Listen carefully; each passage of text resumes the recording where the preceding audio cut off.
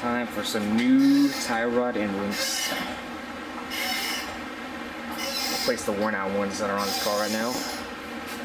Let's get to it.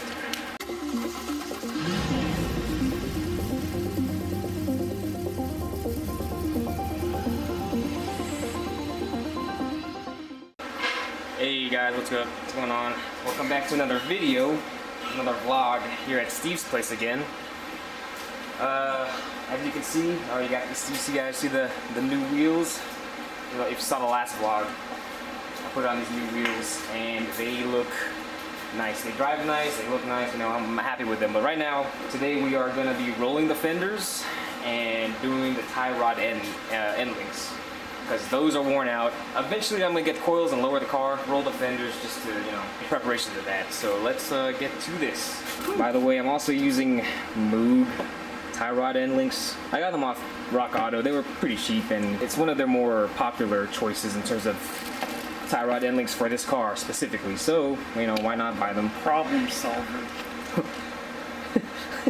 Wow, that's that. They actually have that That's on. where you put the clip of the Glock 40. of the this 40 caliber end links. So, Alright, so we got the car raised, about to take off the wheels and all that. So yeah.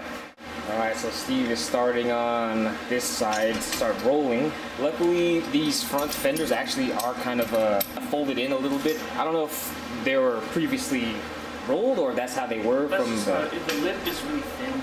Okay, yeah. And then I'm gonna be over on this side to work on this tie rod end. It looks pretty simple. All I gotta do is take out this uh, cotter pin, take out this nut, end link pops out, and then I think all you gotta do is unscrew it off. It seems pretty simple, but yeah, we'll see. Let's try it out.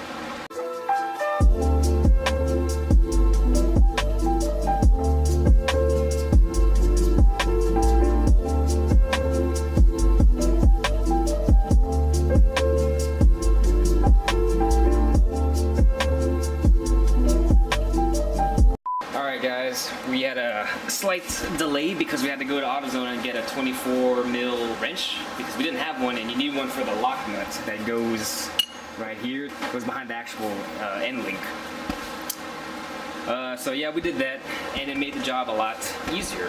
Who would have thought? Alright, these Moog ones have these Zerk fittings that go on the top so you can fill uh, these full of grease. Put these Zerk fittings on before we put it on at the actual tie rod end. So one thing we forgot to do when we went to AutoZone is to get a grease gun with grease to fill these tie rod ends, these new ones. All right, I think it's in. Should be in enough. Yep. Throw this back on. After this job, you need to get a steering alignment. So what we're gonna do is kind of just eyeball it, kind of turn the wheel as much as like this because this is where we had it. All right, so I'm kind of eyeballing more or less where this uh, needs to go, and then putting in the new castle nut.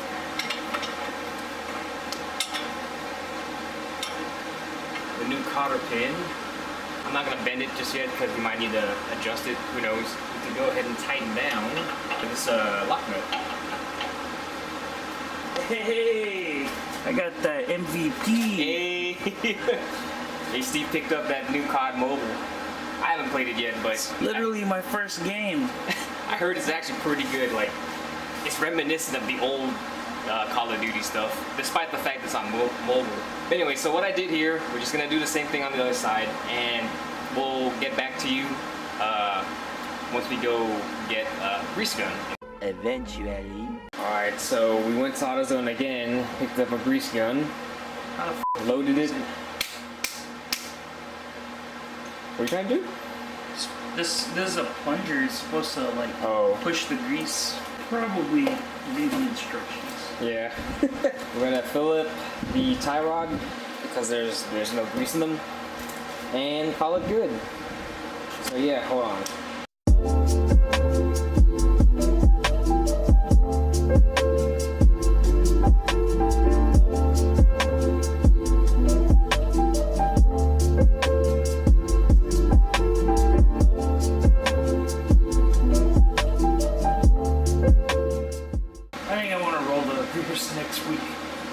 Fine. Did we? Did you roll the the front ones? Yeah. Oh, not this one. Okay. I'll do this one. Then. I'll at least get this one. We did the other side in like five minutes, so. Yeah, we don't take that. All right, guys. So we got it, the uh, tie rod ends greased up. Everything seems to be pretty good. We kind of had a little bit of uh, trouble with the grease gun because the, the nozzle, the tip part of it, like came off and some pieces fell out, and we were like, "Oh, damn! Like, how's this gonna work now?" But it, it seemed to have worked because we filled one side. It didn't look like it was working, but then we saw grease coming out of the actual uh, end link. So we're like, "Oh, this thing is full." So we did it again on this side. It seemed to work. It seemed like okay, so whatever. I'm gonna throw on the tires on this. I know this video was supposed to be about tie rod ends and rolling the fenders, but we kind of didn't focus on that. Steve rolled this fender, and he's about to roll the other fender, and then next week we'll do the rears because we kind of got like sidetracked with mostly the tie in, the tie, tie rod ends and whatnot. So, so thanks for watching. Uh, if you haven't yet, subscribe, like this video, and I'm gonna end this video with some B-roll of Steve rolling that fender. We'll catch y'all later, guys. Peace.